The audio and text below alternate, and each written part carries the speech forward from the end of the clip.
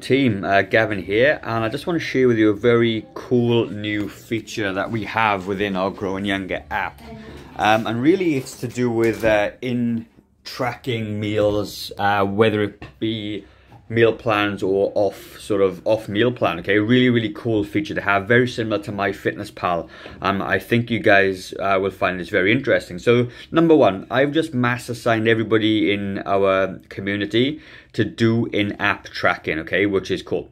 If however you can't do that this is the setting you need to pick on. You pick the three dots at the bottom right click on there um, and then you go to meal tracker and you change it to full meal tracking right at the bottom okay? That's the first thing. If that isn't ticked tick that and then you can go back into it. So then you click on the knife and fork at the bottom and then you've got your meal plan. So let's just say for breakfast um, I had carrot porridge balanced okay? I can just add that to eight today like we have done all the time. However, if I get to my morning snack and I want I don't want this, I want to add my own meal in, I click on the plus button I'm going to click on meal and it's going to get me to take a photograph. So I can take a photograph if I want to. Let's just say of my, my mouse because I haven't got any food with me. Um, and I can obviously, um, let's just say my mouse is a, a, a, protein cookie, okay? This is a recent one I had. I can just click, click on my protein cookie and I can press plus. And now that will add this to my morning snack. If I then say had a, la a coffee or latte as well, I could type in, um, for argument's sake, latte, okay, and it'll give me a whole bunch of ideas. So with this, what I like to do, I like to use grams, not cups. So I'll come in, I'll change it to grams, and I'll just say it's 250 mils or 250 grams. Let's just change it to mils. No, I haven't got it. Uh, yep, mils. Um, and I know that latte is 128 calories, so I can hit that plus button. Um, and then I'm just gonna X out of this and go back, okay? So then you can see that I've kind of added that in. So to find where your meals are, what you need to do is you click on the X button at the top. Oh, no, we don't. Um, oh, sorry, all we're gonna do is click on the log button at the top and the log will already be there because I've changed it around. But what I need to do, because I've already added breakfast in, you can see that at the top there's breakfast. I need, I can't then over I can't add this to my breakfast per se because I've already logged it. So I need to just pick a different meal. So I know it was a snack. So I'm gonna hit snack, then I'm gonna log it, and then it's gonna allow me to log that in. So it doesn't come into your meal plan per se.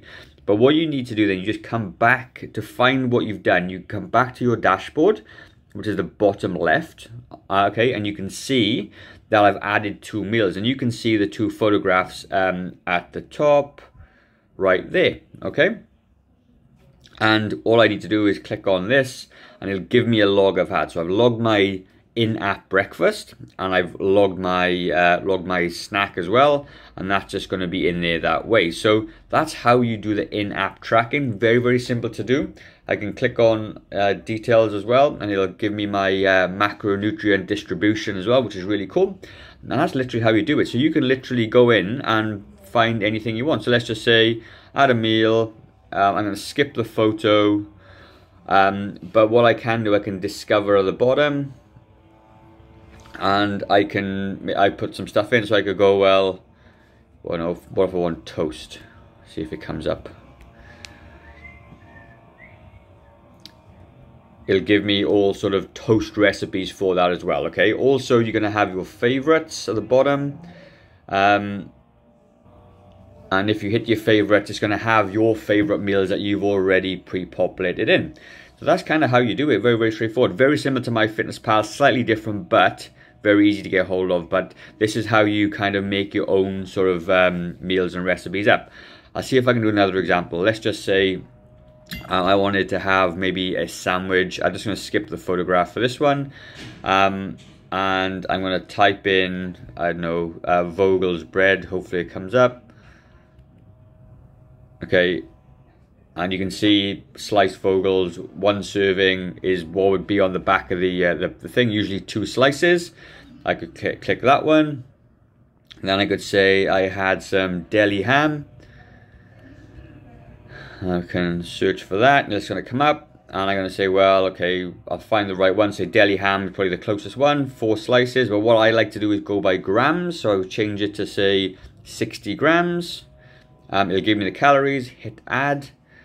Um, and let's just say I had a slice of cheese as well.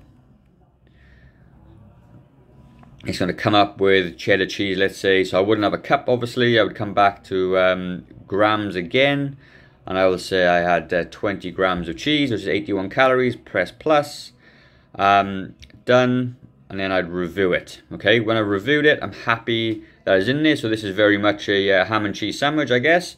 The total calories are 388, which we can see at the top.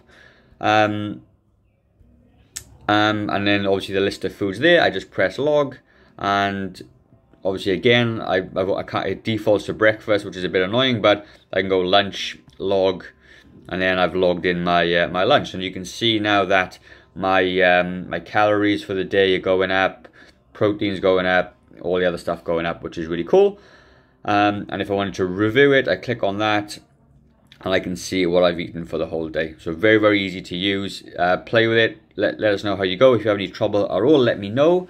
I will do my best to help you. So that is it from me. Have a good day, and I'll see you on the next video. See you.